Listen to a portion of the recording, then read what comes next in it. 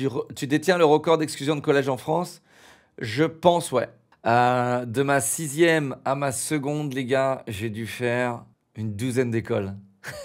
Il y a des fois où je me faisais virer genre deux semaines avant, la fin des cours. Et donc, pour que je termine mon année, on me mettait très vite dans une école. Euh, T'imagines la gueule de mes parents, ils étaient pas contents. Hein. Euh, et donc, quand il restait deux semaines à la fin des cours, on me mettait très vite dans une école juste pour que je finisse. Et même là, je me rappelle, on m'avait mis dans une école fin de quatrième. Fin de la première quatrième, j'ai été viré. Euh, on me met, genre, je crois, à un mois de la fin de la quatrième, on me met dans une, dans une école. J'arrive pile poil pour le voyage de Venise, le voyage euh, scolaire. Donc j'arrive, je connais son père, mec, j'ai pas de potes. On me met à Venise, j'arrive quand même à m'embrouiller avec des gens, quand même à me, à me taper sur la plage avec un mec euh, qui, qui se bat pour m'acheter du sable dans les yeux. Et du coup, retour de voyage viré.